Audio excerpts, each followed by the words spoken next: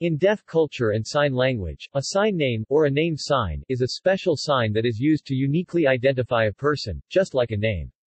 In the American deaf community, there are some special cultural rules around sign names, for example, they must be agreed upon by the named person and the broader deaf community. This ensures that no one else in the community already has the same sign name or that the same sign has a different meaning. Until a person receives a sign name, the person's name is usually fingerspelled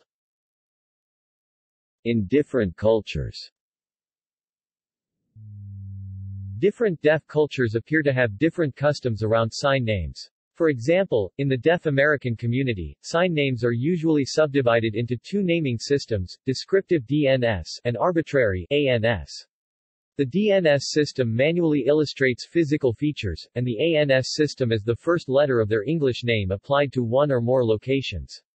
An ANS sign is usually just a unique sign without other meaning, but there may be family patterns, like all the children in a family having names signed at the chin. In Swedish Sign Language and French Sign Language, it is the DNS system that dominates.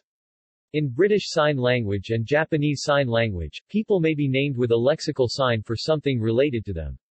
In Japanese Sign Language, sign names for males tend to be articulated with the thumb prominent, and those for females gave the pinky tending to be prominent, corresponding to the general use of those digits in signs denoting males and females respectively. The practice has a counterpart in North American Indian practices in which spoken names were also acquired by a personality trait, a physical feature, or especially a defining memorable event, and in which a name might also change if a still more significant occasion seemed to call for it.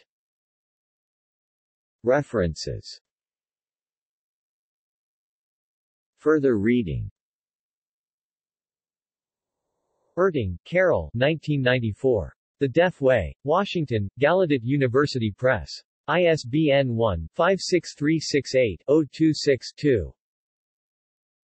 External links Name sign About.com, sign names LifePrint. Com, name signs